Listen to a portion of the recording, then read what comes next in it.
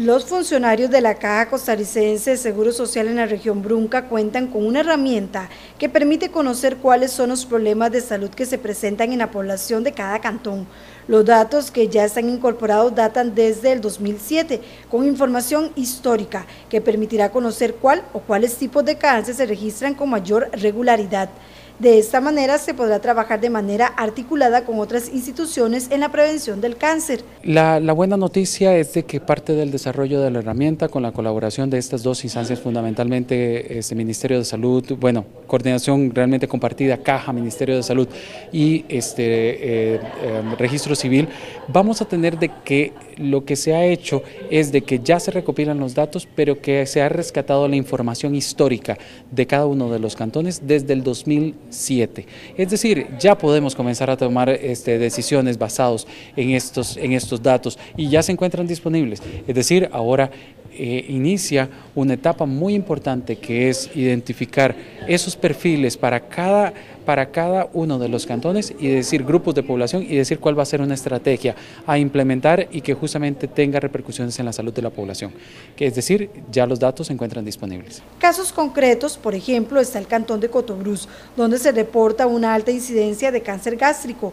Uno de los, de los aspectos importantes y que llama mucho la atención, eh, y no solamente en la región Brunca, sino también en la región eh, a nivel nacional, es la presencia de cáncer gástrico a nivel de San Vito de Cotobruz. Si yo vivo entonces en Cotobruz y yo soy este, un líder comunal de Cotobruz, ¿yo qué puedo hacer para mejorar los procesos de atención, para mejorar la detección, para mejorar la educación a la población afectada? Y que justamente esto no vamos a ver los resultados eh, posiblemente ni, ni el otro año ni el siguiente, lo vayamos a ver en los siguientes cinco años. Población mejor informada, diagnósticos más tempranos y alimentación estilos de vida, cesación de fumado y que esto redonde en menos personas muriendo de esta condición en, este, en el cantón donde se establezcan las estrategias. Pero entonces, cáncer gástrico es muy importante de valorar en San Vito de Cotobruz y decir qué acciones podemos hacer.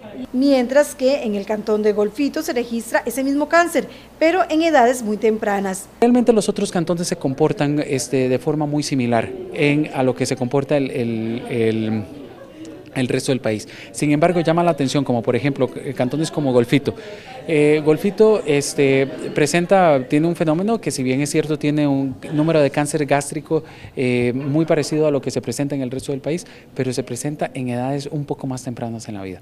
La pregunta es, ¿por qué? ¿Qué tenemos que llegar a cambiar desde edades tempranas en la vida? Estoy hablando desde la niñez, desde la adolescencia, cambios importantes que ya hay que hacer en Golfito. Todos esos datos se tienen en esta nueva herramienta que permite enfocar los esfuerzos de una mejor manera. El problema de cáncer, es decir, eh, eh, cáncer eh, ofrece hoy en día a la sociedad un reto tan importante que el involucramiento debe de ser integral.